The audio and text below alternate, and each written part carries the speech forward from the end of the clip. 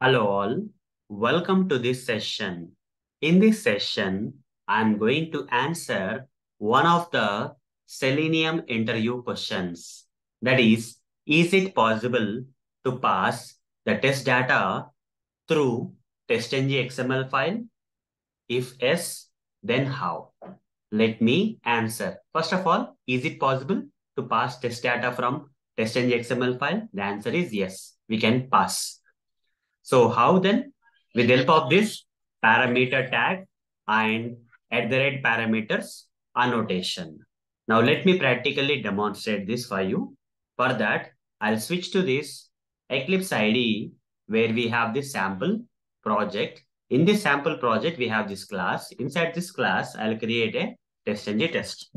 That is public void sample sample test. Okay, like this I'll create. Now on the top of this method, I'll write down at the rate test annotation. Hover the mouse on this at the rate test and import this from TestNG. That's it. Okay. Now inside this, write some Selenium code or whatever the code, let's say. I'll write down something like this. WebDriver driver is equal to new Chrome driver.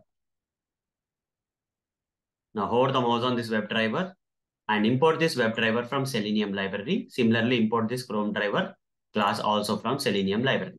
After that, write down driver dot manage dot window dot maximize, then say driver dot get.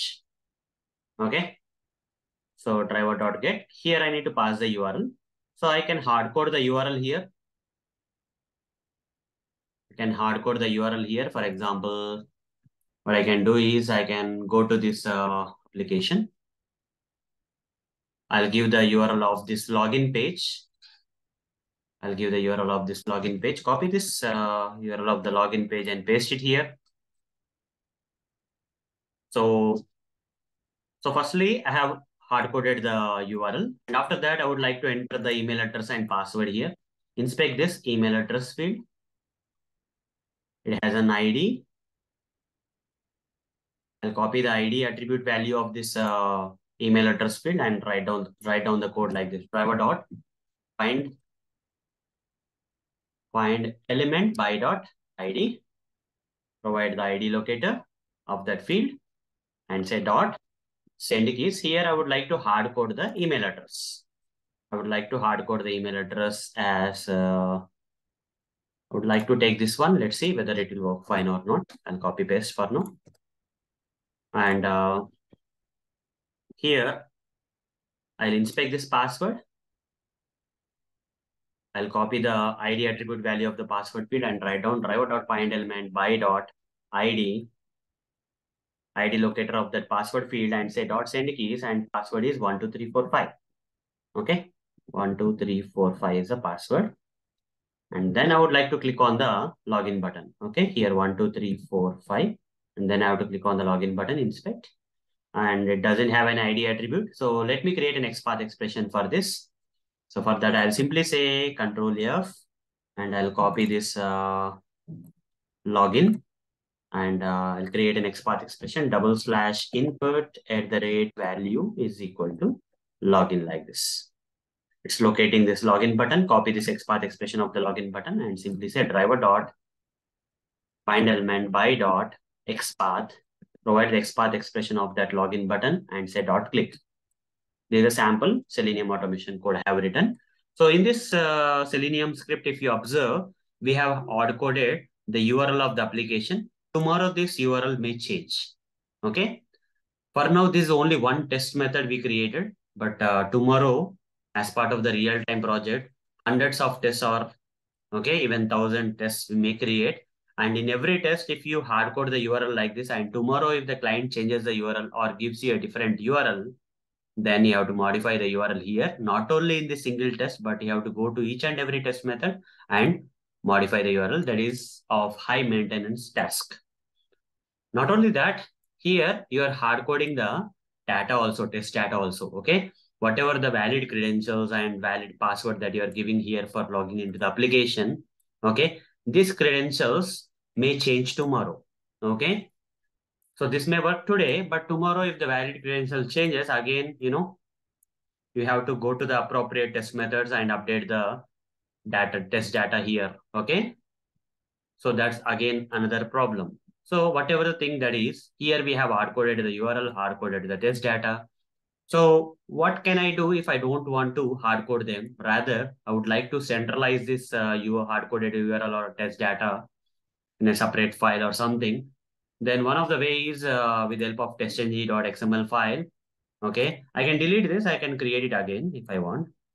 So delete this. And uh, if you can see this project, in this project, we have this uh, test package under that we have only one class. In that class, we have this test method.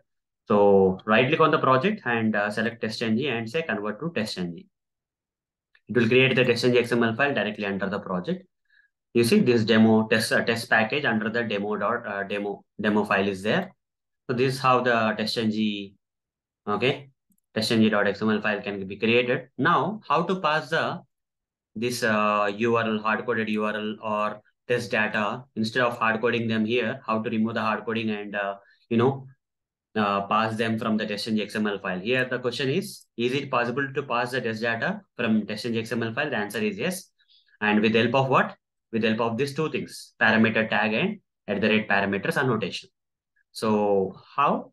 First, we have to go to the testng XML file and here under the test tag, just uh, create parameter, parameter, name, give the name, you can give any name, I'll give the name as URL and I'll say value is equal to and give the value of that particular URL. In this script, what is the value we have? The value is this particular value. I'll copy this value and uh, I'll paste it here. Okay. Not only that, I'll create other parameters. Parameter name is equal to. So here this is nothing but the email. Okay. Copy this uh, email data and here I'll say email. Okay. Some name I'll give. Value is equal to. I'll give the email address. Okay. That I would like to pass from this testng XML file to the test method. One more parameter I'll create. Name is equal to, I'll say password. I'll say value is equal to that one, two, three, four, five was the password, right? So I'll give the same thing. Okay, this one, two, three, four, five is a password. Now, for receiving this URL, this email, password from this testng XML file to this uh, testng test method. So here, beside this uh, at the rate test, you have to write something known as parameters. Okay, this uh,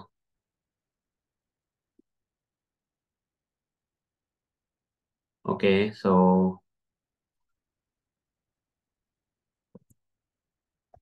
it's not the one, it's not the correct place. Here we have to write. Okay, sorry, it is an annotation, right? It is an annotation, it's not an attribute. So on the top, you can write at the rate uh, parameters like this, you have to write. Over the mouse on this parameters annotation and import this from testng library. After that, provide circular bracket. In that circular bracket, provide curly braces. Because we have multiple things, so curly braces is required. We have multiple things that we need. We are passing from the testng XML file to this uh, test method. So here, put a colon and say first one is URL. Okay. Here you can copy paste also if you want URL, the name of the parameter in the testng XML file, comma, one more parameter. The name of the parameter is email. Copy this and paste it here and comma, again colon. And the other one, that is password. Copy this and uh, paste it here. That's it. URL, email, password. Okay. Now here create the parameters. String, app URL, comma, string, email address, string, okay, password. Like this, you can give different names. They these parameters no, no need to have the same names that are specified in this uh, testng XML file. But uh, this URL will come into this app URL. This email will come into this email address. Password will come into this password. Okay. From the testng XML file, this value of this URL will go here. And from there, it will travel here. And we can use that. Okay. App URL, you can, instead of hard coding it, simply write down the app URL here. And instead of writing the email address, write the email address here. And instead of writing the password, write the password here. That's it.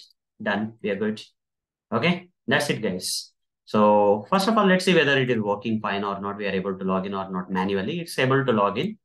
So I'll log out here and run the script to see. Okay, I would like to run the script to see whether uh, this particular uh, URL uh, and test data are being passed from this test XML file to this test method. For that, I need to run the test XML file only. Run as test with the test method in the demo class will be called and you know this data will be also be passed to that particular test method. Let's see.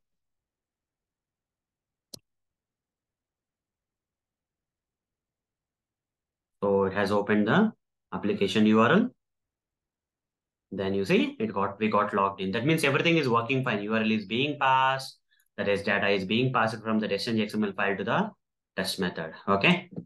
So hope guys you got the answer for this uh, question. So with practical demonstration.